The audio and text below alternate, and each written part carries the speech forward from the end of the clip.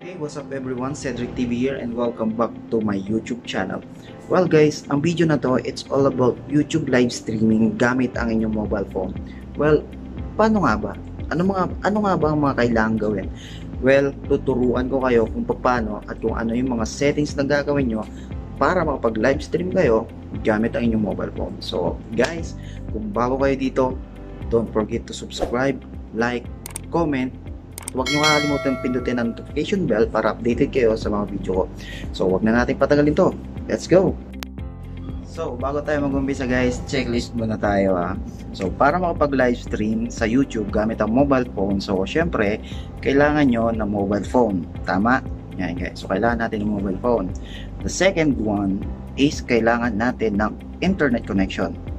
So, mahirap mag-live stream kung walang internet connection. Tama ba? Now, um, now, Number 3, ang pinaka-importante. Guys, kailangan nyo malaman to.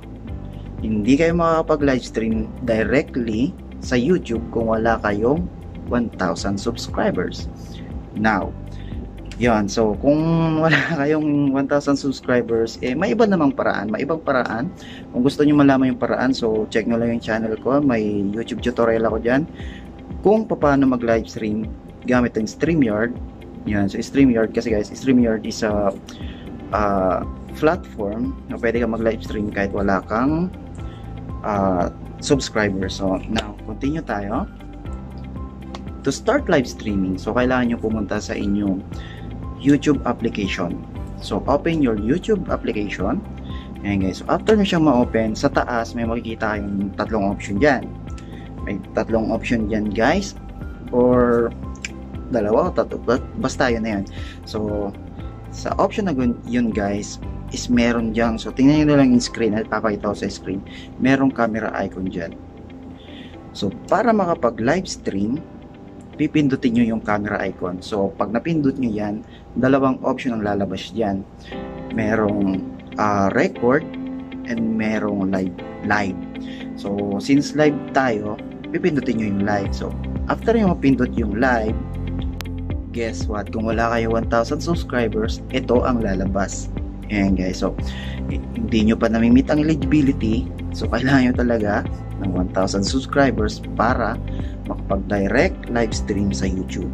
Ayan guys, so yan. So now, paano pag nakuha na natin yung 1,000 subscribers?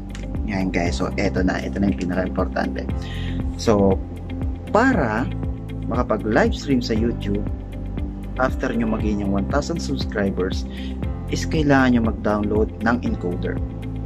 So, kung papabayin pa natin to, so kailangan pipindutin nyo yung learn more, pipindutin nyo yung learn more para malaman nyo yung mga uh, gagawin, lalo na sa mga iOS kasi iba yung option nun kasi Android user tayo, so Android lang ang alam ko. So, para makapag live stream, kailangan nyo mag-download ng encoder. So, punta kayo sa Play Store, go to your Play Store. So, ayan guys. So, search nyo sa, after nyo ma-open yung uh, Play Store, sorry, open nyo ang, uh, search nyo ang Streamlabs. Ayan guys. So, Streamlabs, Streamlabs is an encoder for Android users. Ayan guys. So, click nyo siya. Search nyo. Then, click nyo. Download nyo. So, kailangan i-download nyo talaga siya kailangan, kailangan nyo siyang i-download kasi yun ang magiging encoder nyo. So, after nyo siyang may download, so, i-connect nyo siya sa YouTube guys. So, hindi ko makikita kung paano i-connect kaya kasi nakakonect na yung YouTube ko doon sa Streamlabs ko. So, merong encoder na ako. Pwede ako mag-live anytime, anywhere, directly sa YouTube. Yan guys. So, napaka-importante nun guys, encoder. So, hindi kayo makapag live stream kahit may 1,000 na kayo kung wala kayong encoder. So, may two option yan guys. May two option guys. Kung sa pag live stream, merong live streaming, yung kagaya nito, nagbi-video, or meron namang share screen. So, for example, gusto nyo mag, uh, gusto nyo mag live stream ng laro directly sa YouTube, meron din dyan. So, kung nakikita nyo sa screen, meron yan. So, pipindutin nyo lang tong icon na to. Pindutin nyo yung icon na yan. And lilipat na kayo doon. Lilipat na kayo doon sa sa platform na yon sa share screen na sinasabi ko. Ayan guys. So, Katapos yung magawa yun guys, syempre magla-live stream na tayo, kailangan nyo ng title. So, kailangan maglagay kayo ng title para makapag-live stream, di ba? So, after yung malagay ng uh, live stream, uh, ng live streaming uh, caption, yun, title, syempre, kailangan nyo rin ng description. So, maglagay kayo ng description. For example, uh, small YouTubers, gamer, gamers, so let's help each other come to my uh, live stream, etc. etc. Kayo nang bahala. Now, meron pang isang option dyan. Since uh, yung option na yun is ang um, tinatawag natin koopa. Koopa ba or what? So, yun. Yun ay about sa child protection since 2019. So, 2019 pa siya pinatupad. So, medyo one year na rin So, kasi guys, kailangan yung uh, kailangan nyo describe yung live stream nyo kung for kids ba or hindi yung live streaming nyo.